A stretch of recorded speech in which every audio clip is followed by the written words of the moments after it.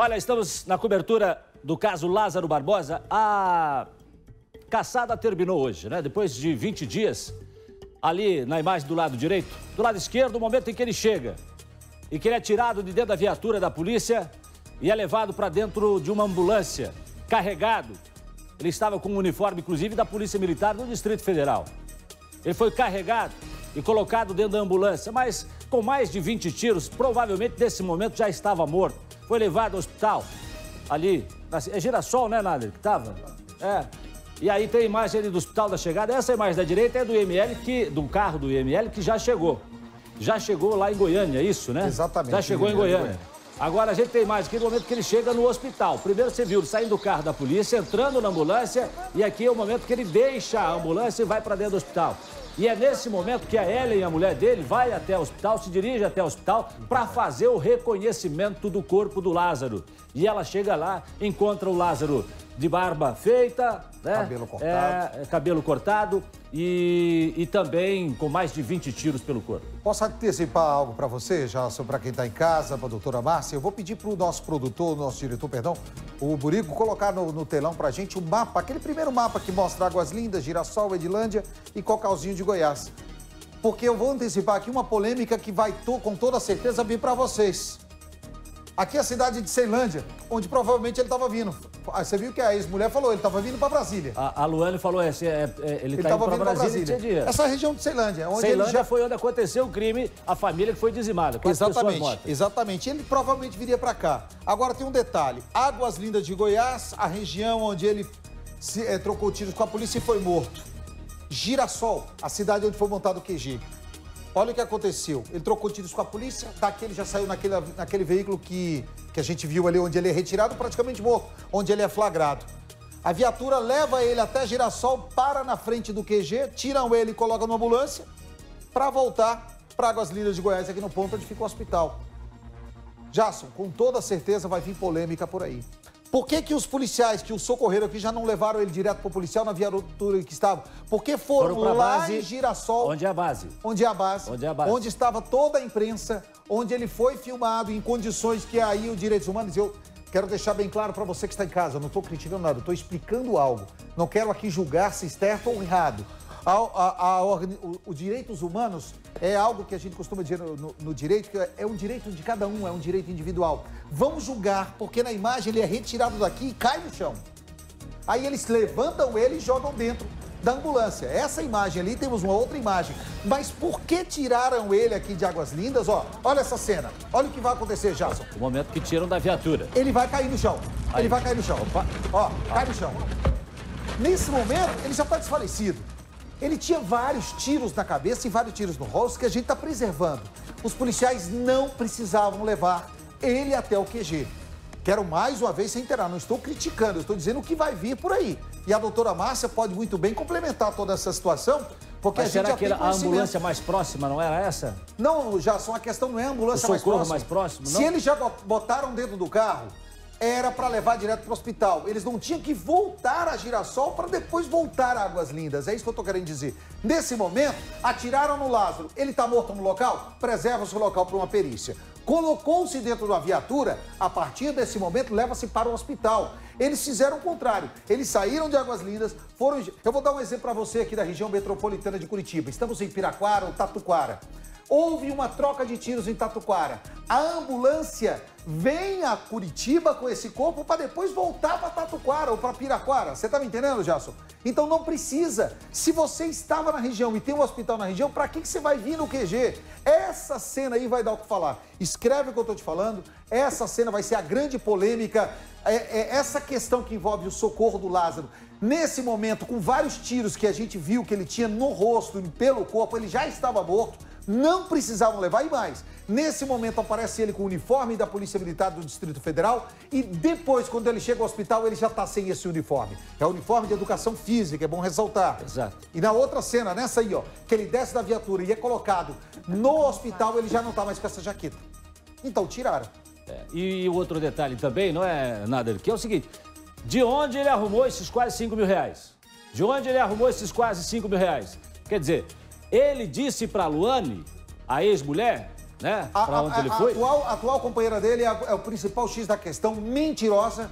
Vou dizer aqui, ó, mentirosa, a polícia já estava monitorando, tinha mensagem no celular dela e eu falei agora há pouco, no sábado de manhã, quando um site de Brasília divulgou aquela foto, houve uma repercussão enorme, porque apenas quem estava no grupo da polícia sabia do Facebook que ele usava, Frank Souza, e foi nos pedido lá na hora porque nós passávamos tudo isso para a nossa direção que a gente recebia. E foi ordenado que nós não divulgássemos, para não atrapalhar. Só que essa informação acabou vazando para esse site que meteu a foto que ele usava no Facebook. E era uma foto de um helicóptero, onde está um atirador de elite na base do helicóptero. Essa era a capa de tela. E a foto do perfil do Facebook era uma foto dele atrás dos policiais uma foto dele atrás dos policiais. Ele estava monitorando. Através desse Facebook, chegou-se ao telefone um número, no rastreamento do número ele conversava com a Ellen o tempo todo. Só que com a divulgação desse site que isso acontecia, ele parou de usar esse telefone. Como que ele iria falar com a Ellen? Atrás da, da ex-mulher. Por isso ele foi na casa dela, que é essa imagem que nós pegamos hoje pela manhã, às 8 da manhã. Nesse momento foi que a polícia sabia que ele estava lá, Jason. Foi nesse momento que a polícia sabia que podia pegá-lo. Foi nesse momento que a ex-mulher acabou entregando a Ellen, dizendo que ele ligou para ela, mandou mensagem para ela e depois apagou a mensagem. Atenção, vamos para a rede Conexão com a rede Os Últimos Passos de Lázaro. Uma pessoa que acobertaria Lázaro Barbosa. O certo é que ele veio até aqui e fez exatamente isso passou por este poste aqui. Não é o poste da imagem. Este poste aqui seria o ponto exato que o morador ele flagrou a cena porque estava iluminado aqui do Lázaro com aquele chapéu, com aquele casaco, com aquela calça com listras do lado e a arma. Naquele momento ele teve certeza absoluta, Gotino. Era Lázaro Barbosa aqui, atrás da casa dele, no quintal da casa dele. E neste momento ele chegou a voltar ele voltou. Olha só, este homem, este homem que estava sendo procurado, estava sendo procurado pelo Brasil todo, pela polícia, toda a polícia, polícia militar, polícia rodoviária federal, polícia civil, enfim, todos. Ele ainda fez questão de voltar. Ele veio até aqui, até aquela janela ali, olha só, e tentou empurrar, porque o homem teria visto que era Lázaro Barbosa e se desesperou, ele saiu correndo. Ele veio até aqui, não conseguiu entrar, só que imediatamente as vizinhas, a mulher dele foi até a vizinha e elas entraram em contato com a polícia. Só que a polícia já estava no esquema, já sabia que ele vinha fazendo contato com familiares e possivelmente queria fugir. Então a polícia chegou muito rápido. Foi neste momento que, segundo o morador, ele saiu correndo. Ele saiu correndo por meio da mata Lá na frente, nosso repórter cinematográfico mineiro vai mostrar, tem a mata. E ele adentrou nesta mata aqui em Águas Lindas de Goiás. E foi uma madrugada, uma manhã extremamente intensa, de tensão, até este homem ser capturado. Ele que foi capturado, e a primeira informação que chegou para a gente através do governador de Goiás é que ele teria sido capturado, mas com vida. E depois veio a confirmação da morte de Lázaro Barbosa, este homem que era o mais procurado do Brasil, Gotino. Olha aí, Lorena Coutinho, com a informação. Eu acabo de receber uma informação que eu pedi aqui eh, para nossa produção apurar, vem para cá, por favor. Um hectare, 10 mil metros quadrados. É, eles estavam é, comercializando áreas ali enormes, com mil hectares, no mínimo. E aí, eu vou contar para você o seguinte: propriedades, terras que estavam avaliadas em 5 milhões de reais. Então, Lombardi, você tem ali uma fazenda, uma chácara, você tem terras, inclusive, para plantar, para pasto para o gado, propriedades que, na região, chegariam a valer 5 milhões de reais. Se a área fosse valorizada, poderia chegar a 10 milhões de reais. Mas como a área não está valorizada, 5 milhões de reais começa uma onda de ataques, começam a plantar ao invés de mandioca, ao invés de, de, de, de alimentos, começam a plantar o terror ali. Propriedades que deveriam custar 5 milhões de reais, teve gente que estava vendendo por 500 mil, 1 milhão entrega. É, de cada 10 propriedades, de cada 10 propriedades, 7 estavam abandonadas. Pessoas que foram embora e não vão voltar, e pessoas que foram embora e agora começam a voltar porque sabem que Lázaro está morto. Por isso que a polícia e o secretário de Segurança Pública de Goiás, a Polícia Civil também e a Polícia Militar falam em organização criminosa, porque tem base, tem base e foi feita uma, uma, uma investigação muito aprofundada a partir do instante da prisão do fazendeiro. Ele foi preso, outras pessoas serão presas e eles não têm nenhuma dúvida que o Lázaro foi usado para botar, atacar o terror, como dizem na linguagem policial, botou o terror em todo mundo para que todo mundo fosse embora. E muita gente foi embora, muita gente foi embora. Priscila Doroche me chamando ao vivo para falar sobre a roupa encontrada com Lázaro no momento em que ele trocou tiros com a polícia. Que detalhe é esse que você gostaria de falar agora, Priscila Doroche? Gotino, eu vou pedir para o Duriel, nosso excelente diretor de TV, acho que a gente pode recapitular uma imagem forte, mas que está com um blur, que é aquele sombreadinho que a gente coloca, né? No momento que os policiais tiram o Lázaro do carro, né? Da viatura da polícia para passar para o carro de bombeiro. E um detalhe importante é para a gente perceber nesta imagem é a roupa que Lázaro estava usando. Quando ele foi ali encontrado pelos policiais que houve essa troca de tiros, Lázaro estava com um casaco da polícia Militar do Distrito Federal, um casaco que foi parou de ser fabricado pela corporação em 2013 e ele vestia também um outro casaco por cima camuflado aí, ó. Um pouquinho depois, Uriel, a gente consegue mostrar exatamente esse ponto, ó. A gente consegue observar que ele tem um casaco camuflado do exército por cima. Isso tudo para dificultar o trabalho dos policiais ali, ó. É bem aquela parte verde ali que a gente tem a nuvenzinha que está escondendo, porque é uma imagem muito forte mas esta era a roupa que ele estava utilizando. Só que dias anteriores, as pessoas relataram, as testemunhas, de que Lázaro usava uma calça preta escura, apertada, e uma camisa social preta. Isso leva a crer, e é o que diz a polícia, sim, que pessoas estavam o ajudando porque ele conseguia trocar de roupa. E lá no início da nossa cobertura, Gotino, vocês vão lembrar bem, em uma das invasões ele usou pasta de dente. Então ele conseguia fazer a higiene pessoal e a gente pode ver por esta imagem de hoje. E uma informação importante que chegou para a gente também a respeito da investigação, Gotino. Vocês falavam, você e o Lombardi aí no estúdio, sobre as propriedades. A polícia já tem a informação e investiga que Lázaro trabalharia como jagunço, que é como eles chamam quando um criminoso é contratado para ser segurança ou ser um, capanga de pessoas ou de fazendeiros. É esta informação que a polícia já tem e investiga também neste momento, Gotino. Deixa eu voltar com a cobertura do caso Lázaro, que está morto, foi morto hoje pela manhã numa troca de tiros com a polícia. Lázaro não se entregou, a polícia ele teria atirado, a polícia reagiu e o Lázaro tombou morto com mais de 20 tiros. Aí esse é o momento em que ele vem no carro da na viatura da polícia e é tirado da viatura da polícia, colocado dentro de uma ambulância, mas aí ele já, já está morto. Já está morto. Doutora Márcia Marcondes, foram 20 dias de caçada, doutora Márcia, até que terminamos com essa imagem aí do Lázaro tombado, morto, depois dessa troca de tiros com a polícia. Agora, a gente estava acompanhando, inclusive, a programação da rede com o Gotino, lá em São Paulo né, com o Lombardi e, e, e eles comentando sobre a, essa, essa situação de que poderia haver um interesse em manter, por isso estariam fazendeiros é, dando cobertura é, para o Lázaro, pessoas dando cobertura para o Lázaro, que haveria um interesse comercial nisso tudo. Ou seja, as pessoas estavam tão assustadas com o fato de ter Lázaro, né? Que saiu de Ceilândia, matou quatro pessoas, e aí começou a cobertura da imprensa e fugindo, fugindo, e ninguém consegue pegar o Lázaro. E aí a especulação que se tem nesse momento é de que estariam vendendo é, é, imóveis mais baratos, né? É, terrenos mais baratos, porque o pessoal estava com medo, assustado. É, é, e aí eu quero saber da doutora Márcia, nós estamos em 2021. Eu, eu acho que se tem alguma coisa por trás de tudo isso, deve ser muito maior que isso. Ou será que não? Eu quero ver a opinião da doutora Márcia e do Nader, que conhece a região.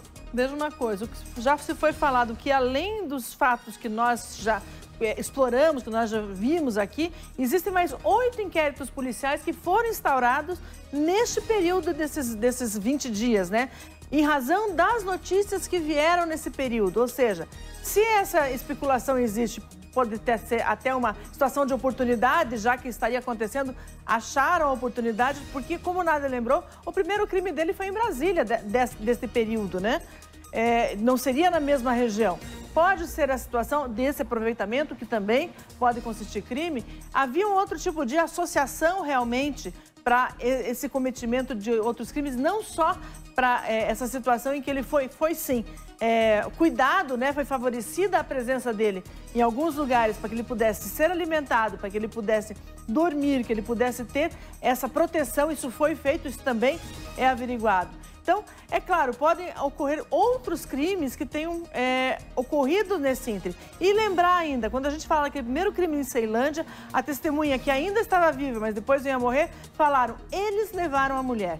Então, sim, aí continua a corrida por essas co essas coautorias possíveis, além dessas outras pessoas que possam ter se aproveitado e se filiado a isso no caminho. É, eu ainda digo mais, Jason, assim, eu não acredito nisso realmente, do que está sendo falado. A doutora Márcia já tinha falado, o primeiro crime é em Ceilândia. A questão do primeiro crime, já só existem duas possibilidades até para trazer a motivação daquele crime, por que, que a, a, a mulher acabou sendo morta, a Cleia acabou sendo morta depois.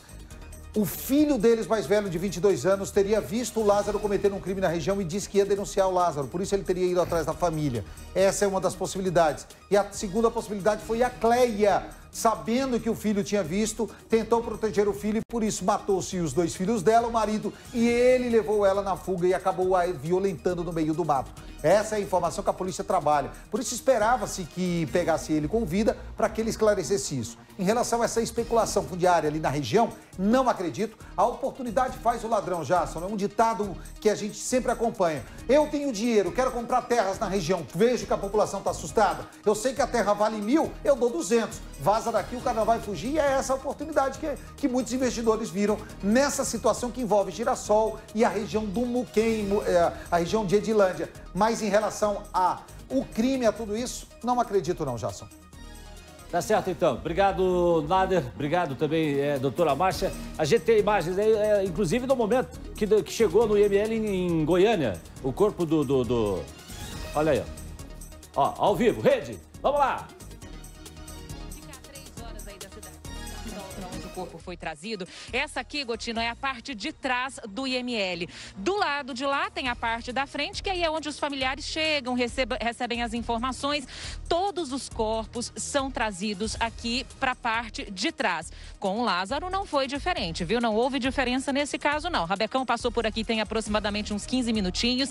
Ali dentro é onde ficam os médicos legistas enfim, eles ficam ali dentro. Esse procedimento costuma demorar meia hora até uma hora. Pode ser que neste caso esse procedimento seja um pouquinho mais demorado, já que se trata de um caso de muita repercussão, vários disparos, muitas, muitas marcas de tiros né, nesse corpo do Lázaro. Então, tudo isso precisa ser observado e colocado nesse relatório. Para quem nunca passou uh, por uma situação como essa, é por aqui também, Gotino, que a família entra. Qual é a dúvida que paira aqui neste momento. Lá no hospital em Águas Lindas, a mulher do Lázaro, e a gente fala mulher porque ela vivia com ele, ela esteve no hospital para reconhecer o corpo. Esse reconhecimento não teria sido válido, porque quem faz esse reconhecimento é alguém da família, de primeiro grau, e eles não eram casados, eles eram amigados.